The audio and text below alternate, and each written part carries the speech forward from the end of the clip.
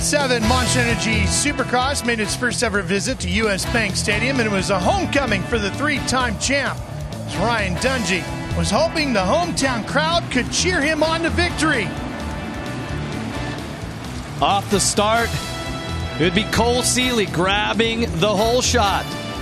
Dungey would be back in about fourth. But Seely with the lead. Watch this. Loses traction with the front end and goes down. He would go back to 10th on the first lap. Davi Millsaps would inherit the lead. He would also inherit a challenge from Eli Tomac, who passes him through that rhythm lane. And Tomac would set sail looking to match his number plate and wins in 2017.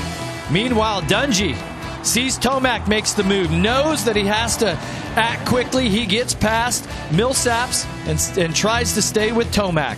Arlington, Texas winner Marvin Musquin cuts inside of Davi Millsaps, and the French rider finds himself in a podium position. Meanwhile, Chad Reed gets it all wrong coming out of the whoops, slams hard. Tomac picking his way through traffic. It was a very challenging and demanding racetrack. Patience would be the key for Tomac.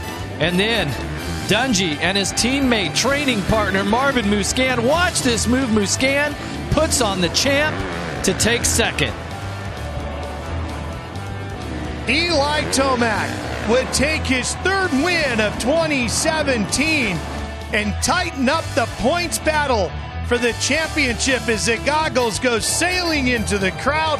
Tomac goes to the top step of the podium, and the points battle is tightened up.